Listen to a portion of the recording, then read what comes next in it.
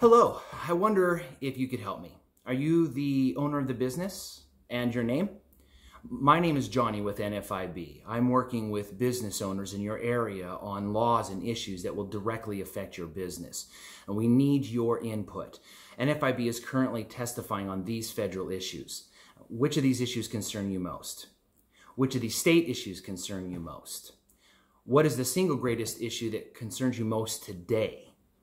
And how many do you employ? It is also my job to share with you what NFIB is doing about these issues. Are you familiar with NFIB or have you just seen our plaques all over the place? well, NFIB is the voice of small business. We are the only member driven organization that is dedicated to being the advocate for America's small and independent business owners in Washington, Washington D.C., and the 50 state capitals. Here is a partial list of our 5,000 members here in Alaska. As you can see, we represent every kind and size of independent business.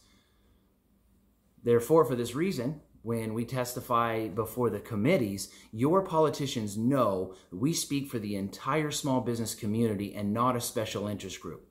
Now, here's what these people are doing, and they need your help you get to vote ballots like these, which will come to your inbox a few times a year on state and federal issues that will affect your business profit. We follow up and take action by testifying and advocating before Congress and the state legislator to have an impact on those issues. Here's what your lawmakers have to say. Then we report back to you on how your elected officials in Juneau and Washington, D.C. voted on the same issues you voted on. Finally, you have a report card letting you know who is standing up for your business and who is not. This uh, process is so successful that major news media from both sides of the aisle have consistently rated NFIB as the greatest business organization in America.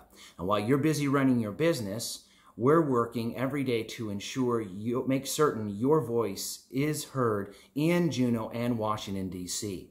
One issue we fought, and one is here in Alaska, NFIB fought last year to stop 12 different tax bills uh, that would introduce a state income tax.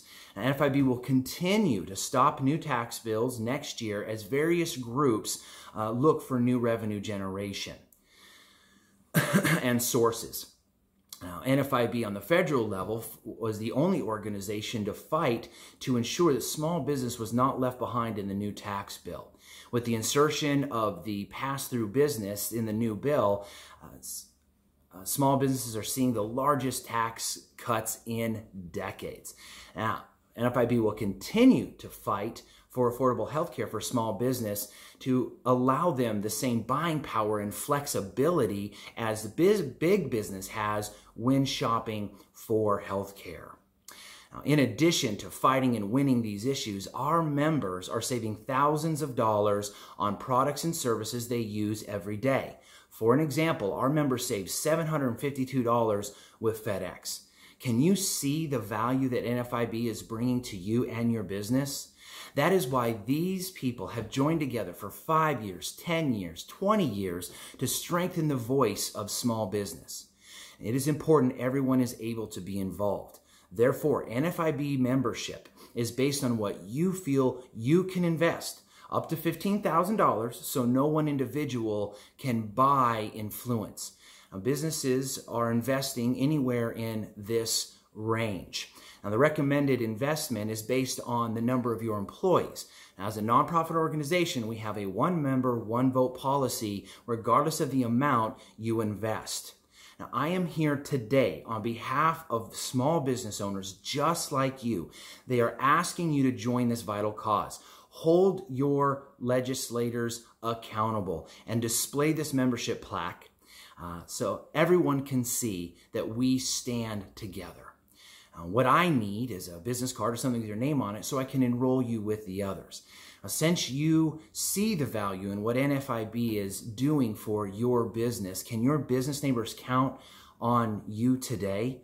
Uh, and do you have a card? And what level would you like to invest?